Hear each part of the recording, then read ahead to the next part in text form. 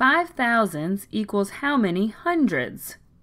There's probably a few ways we could take this on, but maybe let's start by thinking about these five thousands.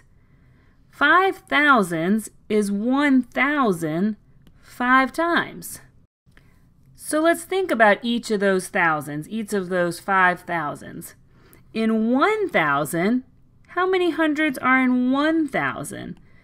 One thousand equals how many hundreds? Well, let's see. Let's count by hundreds until we get to a thousand.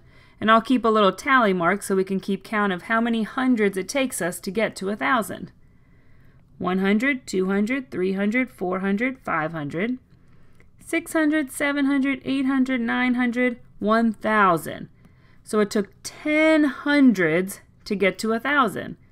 So 1,000 is 10 hundreds. So what would 5,000 be? Well, 5,000, 5,000 is five times as many thousands. So we're also going to have five times as many hundreds. So five thousands will equal five times 10 hundreds because we have 5,000 this time, so we have 5 times 10 hundreds. Or 5 times 10, 5 times 10 is 50. So 5,000 equals 50 hundreds. Another way we could think about this is place value. So let's do that. Let's look at a place value chart.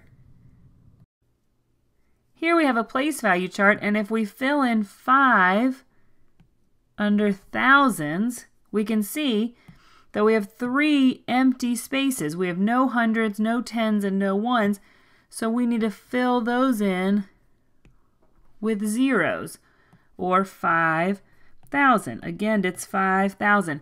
Writing the word thousands essentially replaced those three zeros. Five thousands is the same as five with three zeros behind it.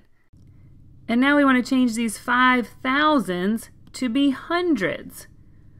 Well, when we read this place value chart, when we read 5, when we stopped here, 5 is the last number we read, and then we read the place value above it, thousands. So for hundreds, we'll do the same thing up until the hundreds. We'll read the place value chart until the place value we want, and then the place value. So 5 thousands is the same as 50 hundreds. 5,000 is equal to 50 hundreds. And we don't have to include these last zeros on the end because just like thousands implied three zeros, hundreds, by saying hundreds, we've essentially implied that these two zeros are there.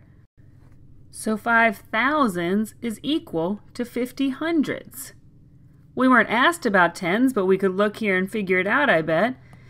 Tens, we would say, is 500 tens. We'd read up through the tens and then the tens place because tens have one zero after them. That zero is implied when you say 10.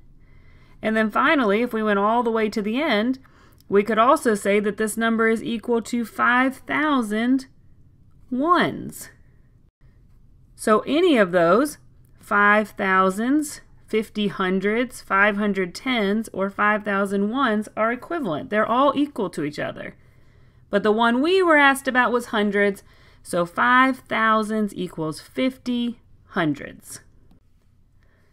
Here's another one. 30 tens equals how many hundreds? So this time we're looking at tens and hundreds. So let's think about how tens and hundreds relate. How many tens are in 100? How many tens are in 100? And we could write 100, the word or the number, in 100.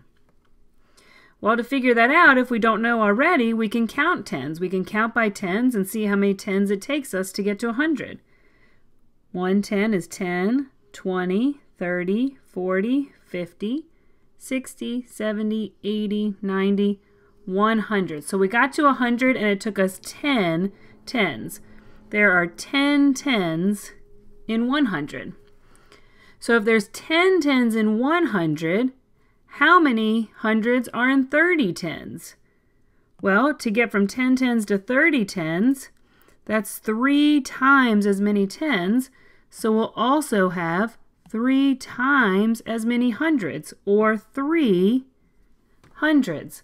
30 tens is three sets of 10 tens. 10 tens are 100, so another way to think of that is 30 tens is three sets of hundreds, or three hundreds. We could also think about this in terms of place value. Here we have this tens, and we know that tens can be represented by a zero. So instead of 30 tens, we could simply write a 30 with a zero on the end. That's zero for tens. And then over here, equal to, we have hundreds, and hundreds can be represented by two zeros. So to make these equivalent, what number will need to fill in this spot? And the answer again is a 3, like we already saw up top. So 30 tens is equal to 3 hundreds.